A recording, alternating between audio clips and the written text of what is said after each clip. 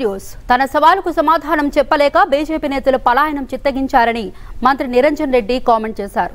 రాష్ట్ర ప్రభుత్వం దళారిలా మారిందంటూ బీజేపీ నేతలు అంటున్నారని ఎవరు ఎవరి పక్షమో ప్రజల్లోకి వెళితే వారే చెప్తారని కౌంటర్ ఇచ్చారు. బీజేపీ పాలిత రాష్ట్రాలు కూడా అలాగే ఉన్నాయా అంటూ ప్రశ్నించారు. ధాన్యం కొనుగోళ్ళపై స్పష్టత ఇవ్వని చేతగాని ప్రభుత్వం కేంద్ర ప్రభుత్వం అంటూ నిరంజన్ రెడ్డి విమర్శలు గుప్పించారు. అదొక అంశం. మళ్ళీ ఈరోజు అవగాహన రాహిత్యం లేకుంటే అంత దిగిపోయి మాట్లాడితే ప్రజలు ఏమన్నా సానుభూతి చూపిస్తారని భ్రమపడుతుంటారో తెలియదు కానీ విచిత్రంగా మాట్లాడుతున్నారు. తెలంగాణ రాష్ట్ర ప్రభుత్వం మిల్లర్ల ప్రభుత్వమా? మిల్లర్లకు మేలు చేస్తుందా అని. తెలంగాణ ప్రభుత్వం రైతుల ప్రభుత్వం మిల్లర్ల ప్రభుత్వం రైతాంగాన్ని అడిగితే తెలుస్తుంది. కేసీఆర్ ప్రభుత్వం అంటేనే రైతుల ప్రభుత్వం తెలంగాణ రాష్ట్రమే రైతుల రాష్ట్రం. ఇక అంతకు మించిన సాక్ష్యం ఇంకేం అవసరం లేదు.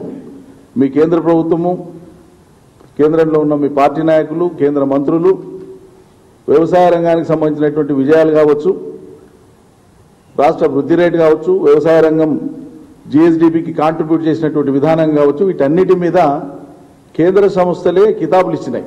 మళ్ళీ ఈ మాటలు మాట్లాడడానికి అర్థం పర్థం ఉండాలి కొద్దిగా కూడా. అన్ని రెచ్చగొట్టే మాటలు అంత బూటకాలు ఒక్కటన్నా కూడా నిర్దిష్టమైనటువంటి అంశం ఉండదు. చాలా విచిత్రంగా మాట్లాడతారు. రాష్ట్రం పాత్ర ఏమీ లేదు. ఒక దిక్కేమో వైఖరి చెప్పాలి రాష్ట్ర ప్రభుత్వం అని మాట్లాడతాడు ఆయన మాజీ ఎంపీ.